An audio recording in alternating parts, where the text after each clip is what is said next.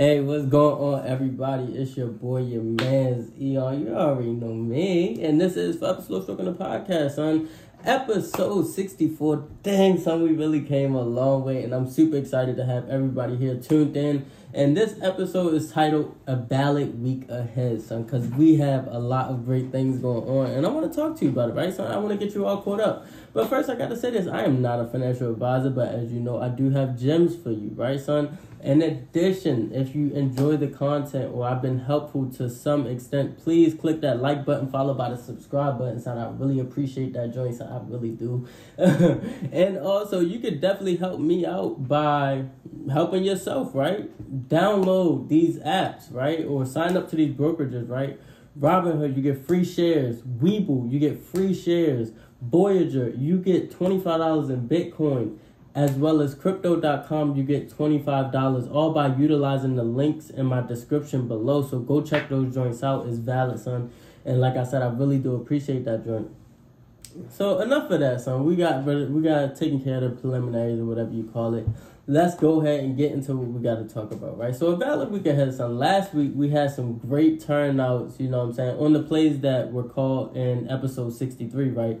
Episode 63 i believe that i spoke on uh, what is it called? I spoke on gm as well as lucid motors right those were like my main focus points for last week and son it really took off i'm talking we had a lot of amazing price action from companies such as gm what else we had lucid motors snap Costco. Joint was crazy. Stupid, dumb, crazy, retarded, as I like to call it. You know, me, son. So that really happened, right? So GM hit over $52. Crazy.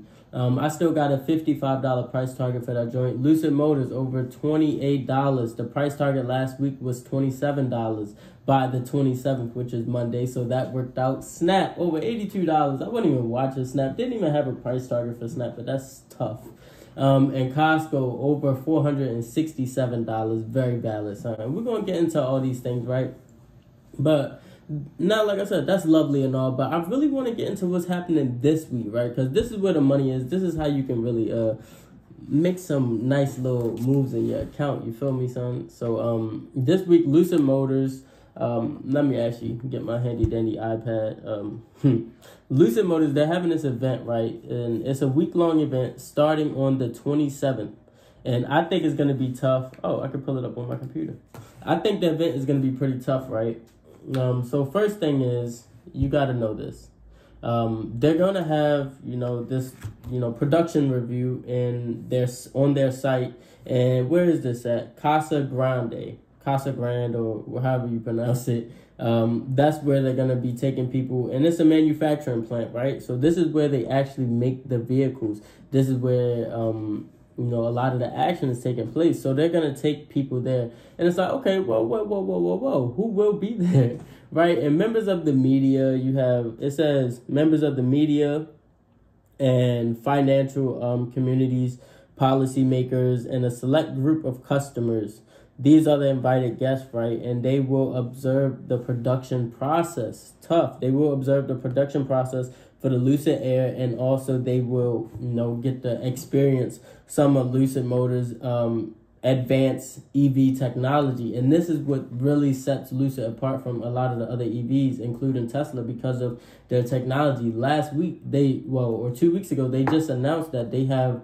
um, range, you know, of you know 520 miles per charge and that's better than any that's over 100 miles for any other ev that that's available so lucid motors is really you know what i'm saying really bringing sauce to the game and and it's definitely tough it's definitely valid right um so i'm looking forward to that right so this is like their opportunity to showcase what they've been doing and um i think that you know test drives and those first-hand experiences that they're offering will really help people say, hey, this is everything that they said it is and more. So that's what I'm looking forward to, right?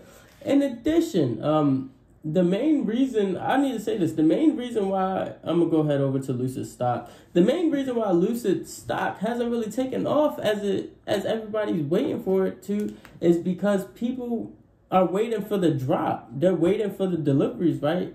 Now there was an article that came out, and I'm not gonna pull it up for everybody, but there was an article that came out that said um, Lucid Motors should um, begin deliveries at the end of Q3, right, quarter three.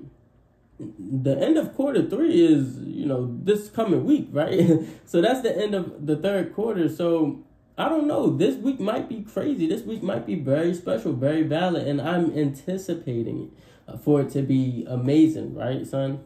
Um, now, we may be one step closer because deliveries, like I said, we're supposed to be in the end of Q3. So, hey, maybe this week they will, you know, saying throw a curveball and surprise everybody and like, hey, you know, the first customer gets their EV. You feel what I'm saying? Like, that'd be crazy. But also, I want to say this. Um, my my dad mentioned to me, uh, I think this was last week or the week before last, that Lucid Motors EVs, that no, not their EVs, their VIN numbers have been released, but I didn't, you know, make it my business to go ahead and validate the information. I was just like, okay, cool, that's that's interesting. But he did mention to me that hey, you know, they said that they have uh, VIN numbers out for the Lucid Motor vehicles.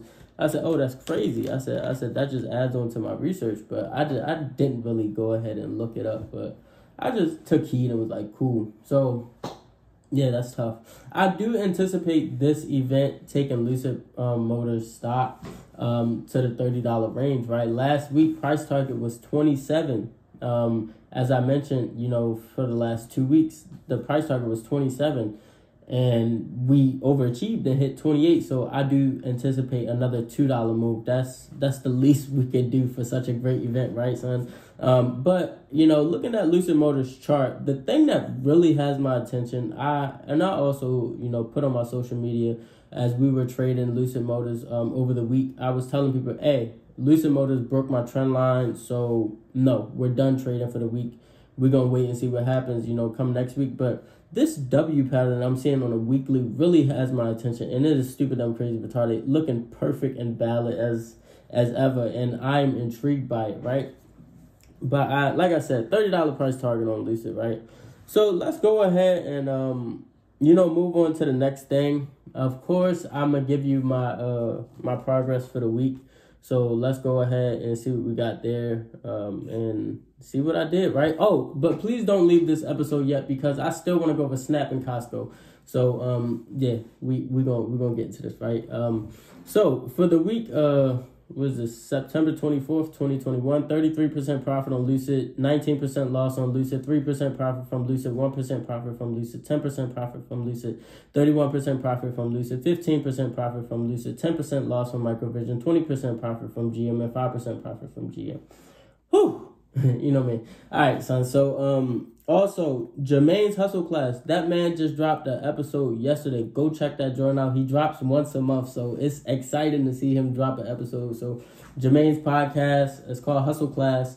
Go check that joint out um right now, please, and thank you. Um, now, for the hidden gem, uh, I didn't really do a hidden gem because I wanted to give you this analysis, right? I felt like this is more beneficial. So, Snap, looking at Snap um, on the chart as you see here, and please, if you're listening to this audio via um, a podcast streaming service such as Apple or Spotify, I would recommend that you tune into YouTube just frequently or, or however often as possible because I do post visuals for you so that you can see these charts, right? But I also let you know what time frame the charts on so that you could, you know, go figure it out for yourself. But on the snap on the snap chart for the daily, we see that snap broke its um, you know, range on Friday. So and, and Thursday. So snap broke its range. So it had every right to go stupid, dumb, crazy, retarded. Me personally, I am looking to get in a position on the pullback. So pullback back to like eighty dollars would be decent.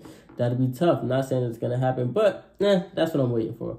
In addition, go ahead, let's move over to Costco. Costco just hit its resistance on its range, right? It's almost like a double top as we can see it. Um, and this is on the daily as well. Costco just get hit a double top on the daily. So I'm like, oh man, dang son, like if we get a pullback, I know exactly where it's going to. It's going about to about 445, 446.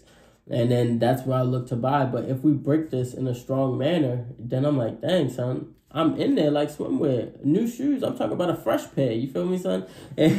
but also the thing that drove Costco stock like this is because Costco posted some positive earnings um numbers on what was that Thursday or Friday. So that's another thing you gotta pay attention to. Look, son, thank you all for tuning in. This is Forever Slow Stroking the podcast. Like I said, episode 64. If you have anything for me and you want to talk about this stuff, please feel free to contact me. But for now, that's all I got for y'all. I gotta go though. Ooh.